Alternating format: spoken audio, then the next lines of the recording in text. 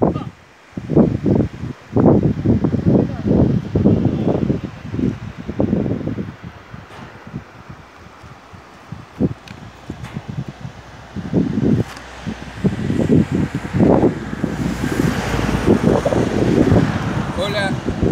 quiero mostrarles un lugar muy particular para los campeanos.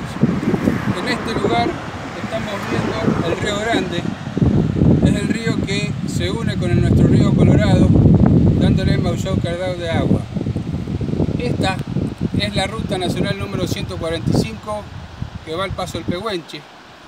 Está en zona de cordilleras, como se pudieron ver en las imágenes. Y lo que estamos viendo acá, precisamente en este lugar, es donde se pretende construir la represa Portezuelo del Viento.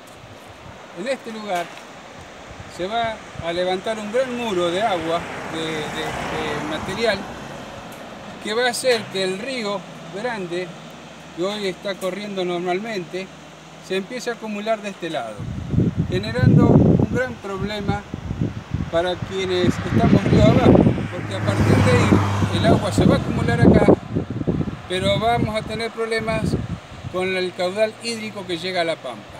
Por esa razón, nosotros desde La Pampa decimos no a la construcción de la represa Portezuelo del Viento. Queremos que se haga un estudio ambiental y que lo hagan las universidades públicas argentinas. Queremos también que se haga una audiencia pública, de manera que se tomen todos los recaudos para ver si se debe hacer o no esta represa. Por otro lado también los pampeanos, y ahora se suman Neuquén y Río Negro también al pedido, queremos que sea administrada el caudal de este río, si es que se hace la represa, por el COIRCO, el Comité Interjurisdiccional del Río Colorado, que es un ámbito donde se discuten las políticas hídricas y está la provincia de La Pampa, la provincia de Mendoza, Río Negro, Neuquén, Buenos Aires y también Nación.